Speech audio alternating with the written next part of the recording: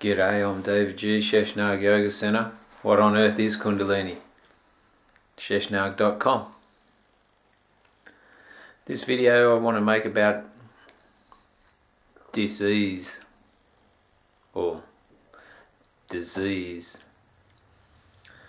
Been trying to research it lately in regards to the culture and the experience that's going on energetically. I'm a big energetic person.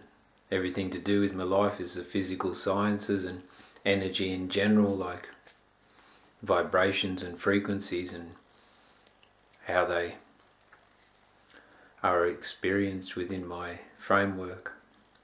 I've realized there's a lot of stress in the culture, there's a lot of stress in life in general in the Western world. Of course, they're first world problems, but it's all relative and it's all stress at the end of the day if then it's not addressed.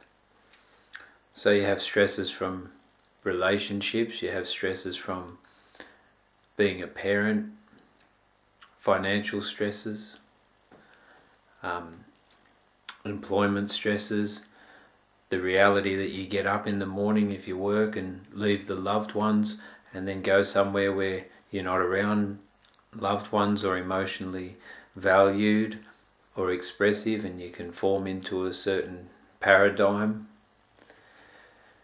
You have conformity ones in regards to the government rules and road rules. Of course, some of these are necessary in the smooth functioning of a culture and community and society, but ultimately, there's a lot of stress put on the human being, which creates this bent perspective. And I heard someone say that we're born sinners. And then I thought, I heard someone else say that we're actually innately givers. The only thing that inhibits us from giving is the amount of stress put on us through the outside culture.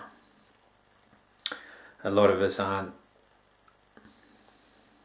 in a position where we can freely give and donate of our time because we're so busy, economically driven, that there's so many pressures on us to maintain the existence which the culture sees as normal that it creates stress. And in that stress, the etheric body experiences dis-ease and from the dis-ease there's a manifestation of illness which explains why we're in the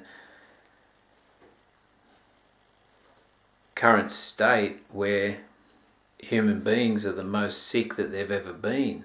Of course, we've got documentation and Facebook and all the social media and media in general that show us a comparison of life to other people and get exposed on a global level. So maybe we were always as sick as we are now per capita, but we just don't know about it. We're actually not living in a community or a village where you only see your village.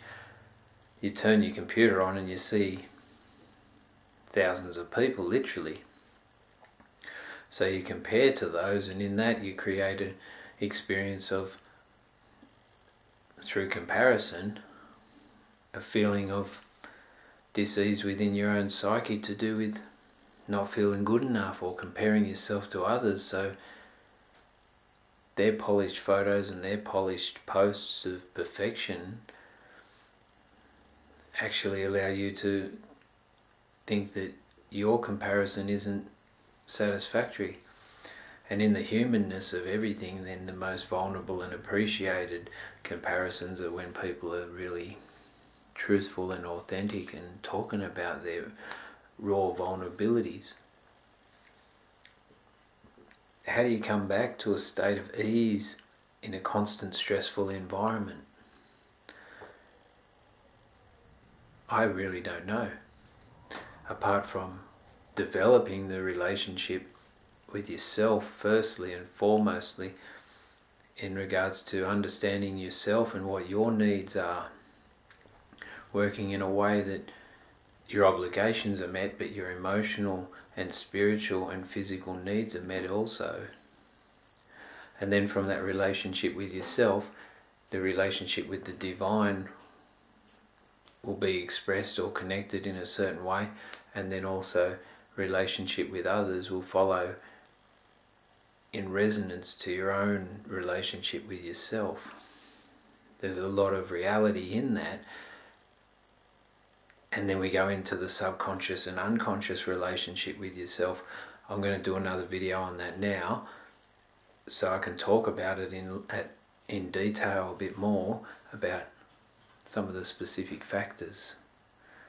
So coming to relationship with yourself is the most important and crucial thing you can do to experience a harmonious experience with others and with the divine. Share the world peace. Om Namah Shivaya. Hara Hara Mahadev.